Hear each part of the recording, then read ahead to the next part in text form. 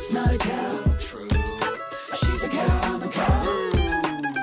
Hey now, I'm a cow. I work hard on the farm. Are you wondering how? Well, I do more jobs than you might even think. For example, I make all the milk that you drink.